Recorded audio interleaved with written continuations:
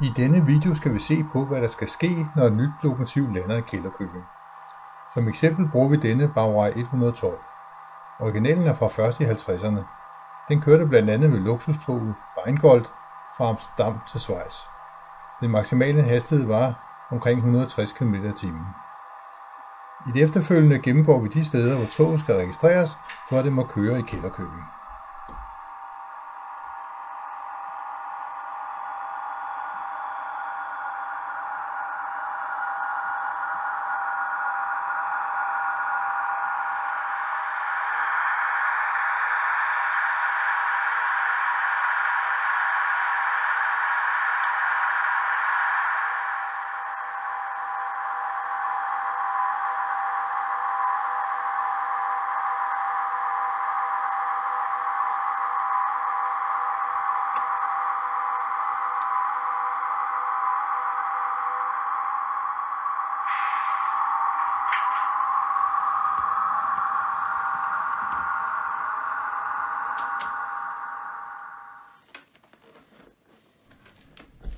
Først skal vi have pakket lokomotivet ud.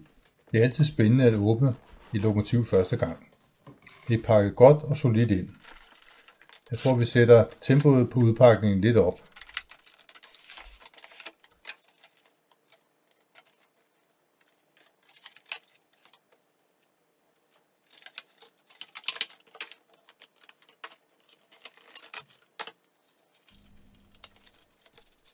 Og der er masser af dokumentation, det er et øh, MFX Plus lokomotiv. Det er jo fint for dem, der har en CS2. Jeg har selv en ESO, så jeg bruger ikke det.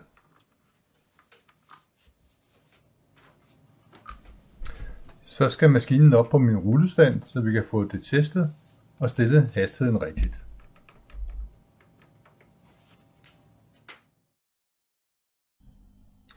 På min ESO-central kan jeg se, at den har opdaget, at der er et nyt MFX-lokomotiv, der straks registreres.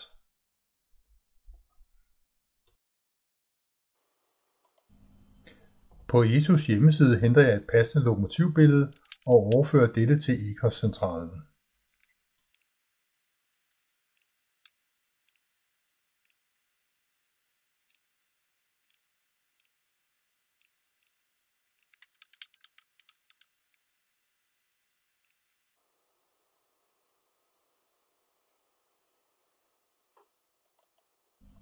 Vi skal nu se på det nye lokomotiv, der er oprettet på centralen, så vi vælger redigere. Først tilføjer vi det billede, vi lige har hentet. Her var det.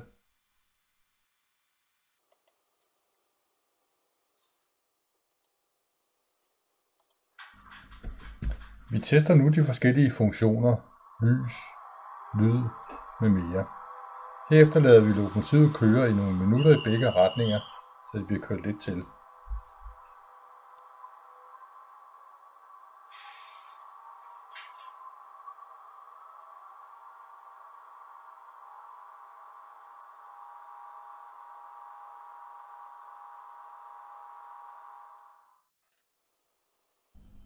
Nu skal den maksimale hastighed måles. Her er det godt med en rullestand med hastighedsmåler.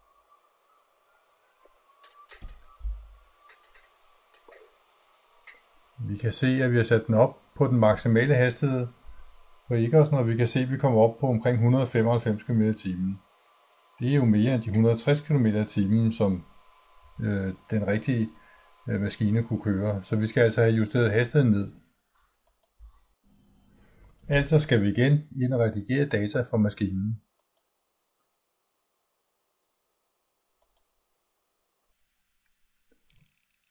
Her justerer vi hastigheden op på speedometeret, så det at speedometeret maksimalt kan vise de 160 km t Og her går vi ind og justerer hastigheden for motoren fra de 195 ned til de 160 km t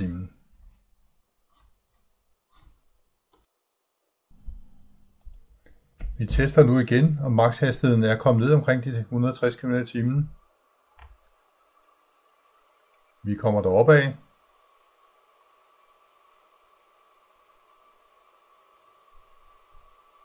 157, 155, 158. Det er fint. Vi er lige omkring de 160.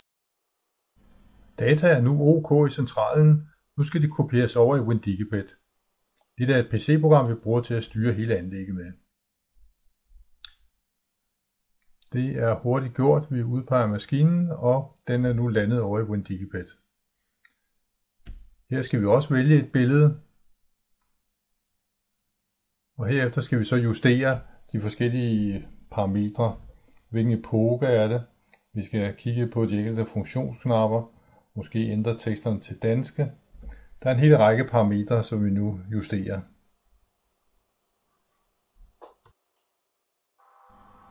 I WinDigibet skal vi nu lave en hastighedsprofil for kørsel fremad og tilbage. Motoren har en række køretrin, og for hver af disse måles hastigheden. Dette sikrer, at når vi beder maskinen om at køre 10 km t, så gør den det. Det er vigtigt, når vi rangerer ind på skydebro eller drejeskive. Som vi kan se, er den godt i gang med fremad. Jeg har sat hastigheden op på videoen, så det ikke bliver en helaftensfilm. Så blev den færdig med fremad. Og retur, den tror jeg, vi springer over. Den kører på helt samme måde. Så er returen også færdig, og vi gemmer så hastighedsprofilen. Så er maskinen klar til testkørsel på anlægget.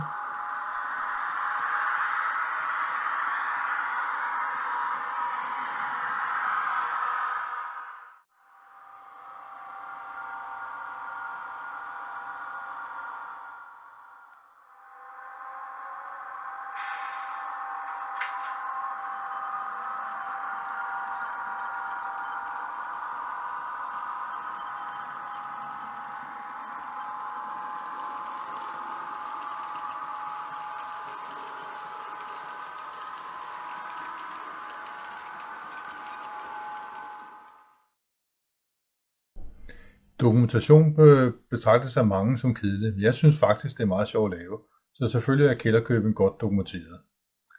Vi går ned og vælger rullende materiel, og her ser vi en liste over de lokomotiver, der findes i kælderkøben. Vi kan rulle ned og finde det nye lokomotiv, som jeg lige har sat ind. Det ligger der. Og vi ser, at der er en række forskellige informationer nummer på lokomotivet, der er hvilke efterringe og hvilke slæbesko den bruger, hvilken digitaladressen har. Vi kan klikke på nummeret. Der er så et link til dokumentationen, så vi kan se mærkningsdokumentation på lokomotivet. Jeg har også en samlerdokumentation for alle dele, der indgår i kælderkøbing. Vi kan for eksempel gå ned og vælge diesellokomotiver eller et el-lokomotiv. Så kan vi bladre os frem til det nye el-lokomotiv. Det ligger nok sidst i stakken, der har vi el-lokomotivet. Vi kan se, at der er en række oplysninger omkring dette el-lokomotiv. Og vi har forskellige billeder af det. Vi har også billeder af den rigtige model. Herudover har vi så en fane med dokumentation. Her ligger igen brugsanvisningen. Der går også ligge andre dokumenter. Endelig har man nu en øh, side med hyperlinks, der er for eksempel til Mærklin og andre interessante links omkring det her lokomotiv. Vi kan så der kan udtrækkes lister fra systemet, der herefter kan sendes til ens forsikringsselskab. Jeg håber, I fik et lille indtryk af forretningsgangen i kælderkøbing i forbindelse med, at et nyt lokomotiv skal køre på anlægget. Mange tak for denne gang.